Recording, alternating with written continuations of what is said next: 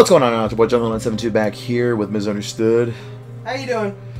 Now, I, I want to, you know, be the first person to apologize for all the fucking random encounters and the irateness. I actually decided to edit all that out, though, because that was way too frequent, even for a Final Fantasy game. I'll tell you this right now, though, you know, there's there's if there's one thing that, that really aggravates me about, you know, Final Fantasy games is the random encounter percentage being so high in some of the games. But it's forgivable because I love Final Fantasy VI. Just how much I like uh, Final Fantasy X as well. And we are going through uh, South Figaro Castle.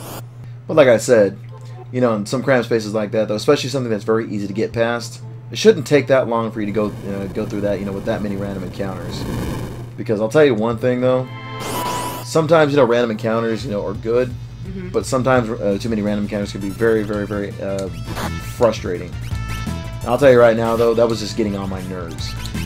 Um, I had the same problem, as I said in the last episode, with uh, Final Fantasy X. Yeah. When I was playing through Final Fantasy X, there was like a series of random in encounters, right? Yeah. And I fleed the majority of them. Yeah, I believe it. And I'll be openly honest, so I fleed the majority of the ones from the last episode too, though. But in this case, so you know, we actually kind of need to grind just a little bit though, because Going through this uh, little tunnel right here uh, will be uh, a little bit... Yeah, let me see if there's anything else that's changed. Because we're going to South Figaro, uh, from South Figaro to Narshe at this point. So there's going to be some changes, you know, from uh, from where we're at, though. Especially, uh, specifically, you know, stronger monsters. And ironically, though, you know, uh, Locke in this case, though, still remains uh, the weakest out of all of them. And Celes is uh, actually uh, at level 14 right now. Um, um, you know all that fleeing in I was Final Fantasy X? Yeah. That that actually came back to bite me in the ass because when I reached when I reached a certain level, I want to say it was the Macalania Temple where I had to fight Seymour. Yeah. I actually got my ass kicked by Seymour plenty of times, so I had to go back and battle and battle some of the enemies, some of the enemies in uh, Final Fantasy X were kind of hard to beat. Yeah, definitely. Not only were they hard to beat though, but you know when you encounter them too frequently though, it's like especially whenever they're about as tough as their own bo uh, boss fights as well, they can be very, very, very um, just time consuming at times. Re they really can. Right, they're, they're super time consuming. Yes. Nothing worse than you know finding somebody finding something so time consuming too. But like I was saying though, if you lower the encounter rate by 15% though, I think, you know, especially even for classic Final Fantasies, they become a lot more fun to be played. Oh, a Thunder Rod too. Oh shit. Yeah, that's definitely uh, something you need to hold on to. But yeah, if you uh, lower the encounter rate at least by 15% though, man, you know, the, the, the game, you know, the games itself though would be a lot more fun. See, that's, that's way, way too common.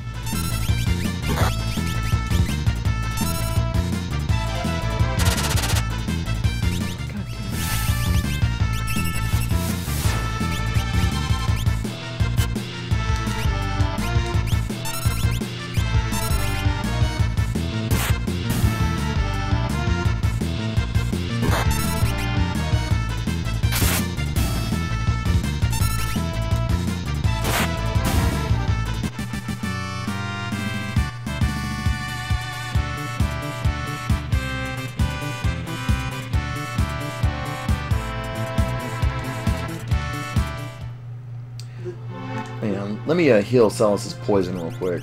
I know the shortest, uh, the shortest I've gone with uh, without a random encounter was like a millisecond, believe it or not. Let's see how far we can go without it.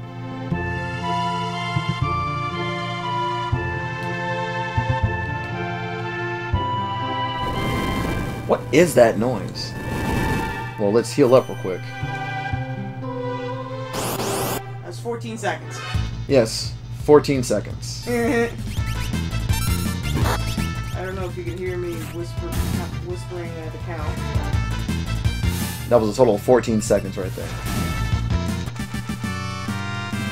Now, who's that in the water? Okay, that was 14 seconds, right? Mm-hmm. But unfortunately for us, though, it's going to be a lot shorter at this point. Something's coming out of the wall. Tunnel Armor. Woo! I'll draw its magic attack. It won't hurt us. Come again? I can simply absorb the attack with my runic blade. Sure you'll be okay? Just you watch. Alrighty, here we go. Let's attack first, but we're going to use runic first. Now you can't draw its physical attacks. However, when it comes to the magic, you're good. Ooh, and an air lancet too. Fucking A. Okay, that was not cool. Yeah. Hang on, let's uh. See, I said okay. I've already got an air lancet equipped. Let's heal up real quick. Oh really? Keep runicking. Keep. This is going to be a little tedious, but it has yet to hit us with any kind of magic attack. It seems to be really, really good at countering too. Oh! Okay. Now I remember. You have to keep. Um, you've got to keep using runic over and over again. You know, you said it was gonna. She was gonna draw us magic though, but this thing does not use magic very much apparently. Okay. Oh, that's not good. That's Yeah, not that's good. not very good at all. Potion, potion, potion, potion, potion. Don't fuck up, Celes. Hey! Bless you. Hey! Really?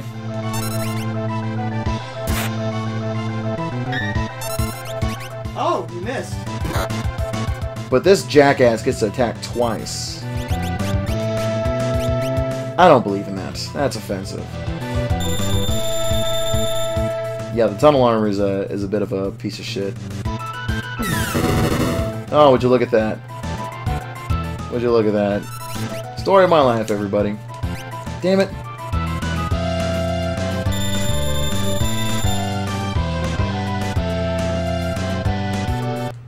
Alright, everybody. We're going to do this again. Because apparently um, the tunnel armor does not like to use magic. Not only does not... Not only does the tunnel armor not like to use magic, but in that last battle, it literally rendered Celes's uh, runic ability destitute.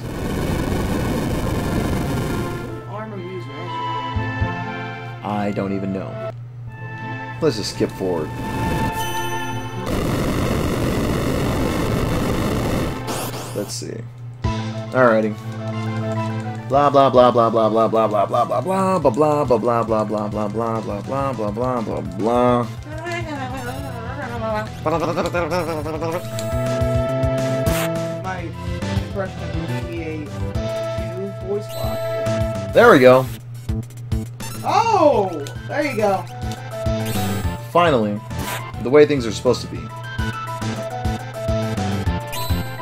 Bam. For some reason, in the previous battle, as you may have seen, depending on how this episode you know gets produced, um, the tunnel armor did not use any magic whatsoever. It just used nothing but physical attacks. Now, I have never played uh, Final Fantasy and then have it do that before. It was really weird. Now, it did use uh, its uh, physical attacks and its magical attacks sparingly, Right. but it focused like 90% physical, like 10% magic at that point. And it really did. It was a really poor example of you know how um, her runic ability, uh, Celes's runic ability, should be used. Oh! And the fight, you know, should have ended. Matter of fact, the fight should have ended just like that, though. So we're not really gonna, you know, bother too much. We're not gonna bother too much of it, though.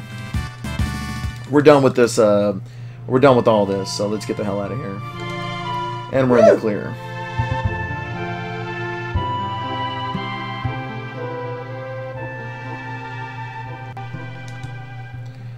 The three have reached Narshe, and a decisive battle is about to take place. That's very unsettling. A very decisive battle. I understand all of it, except how can we encourage bloodshed? We be encouraging bloodshed. Never said that. Something like it. God, don't don't you hate it when people do that?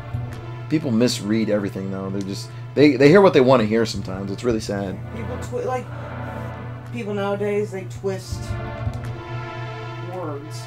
That and then you got you know the the lower primates out there who don't know what these certain things mean. They don't bother to even ask you know about like what it means. Mm-hmm. Global destruction. The War of the Magi. The mythical battle that set mankind back a thousand years. Can this really be happening? People will never learn. You know what? Sad, sad enough. You know, planet humans in general really don't learn very well. Brother, Oh. Sabin, you're all right. And who's with you? I want to hear his. I want to see his reaction I'm Cyan, retainer of, to the Lord of Doma. to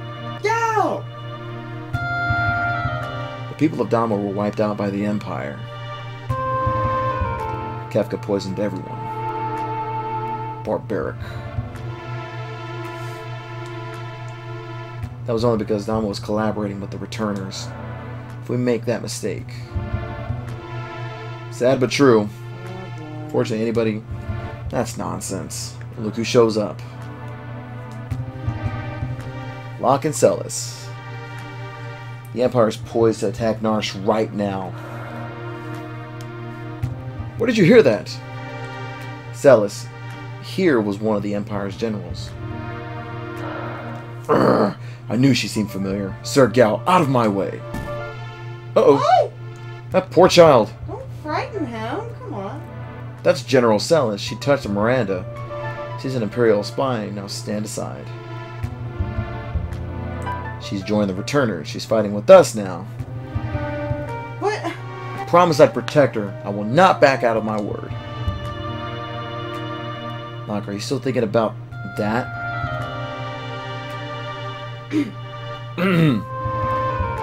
I was also an Imperial soldier. What?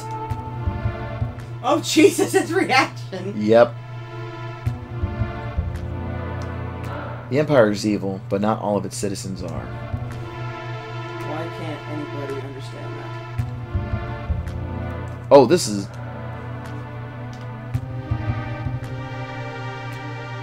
Emergency! The Empire cometh! Oh. That this is um. It's very uneasy alliance with some people. I don't care what you do here. Just get me to that Esper.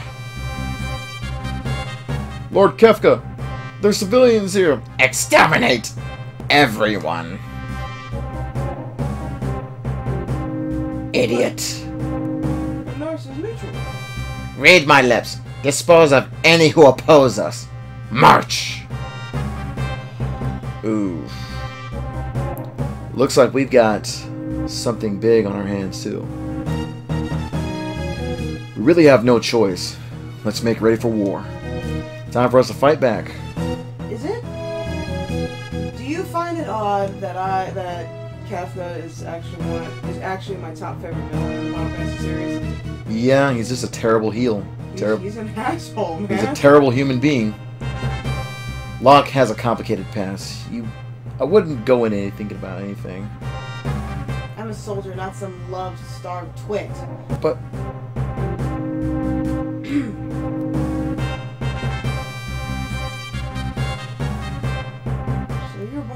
born with the power of magic. Isn't it a lovely gift? You can use magic too, right? she, ooh, artificially infused. Yes, and raised as a Magitech knight. Mm. Hmm? What's that supposed to mean? Well, she she really doesn't know very much about humans. Don't think for a moment I trust you.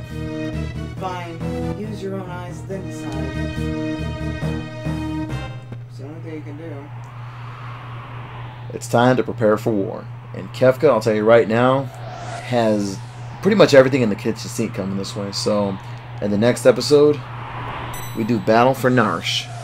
Kefka's a piece of shit. Yes, he is. Without the shadow of a doubt. So, in the next episode, we battle for Narshe's liberation. Much love, and I'll see you on the battlefield.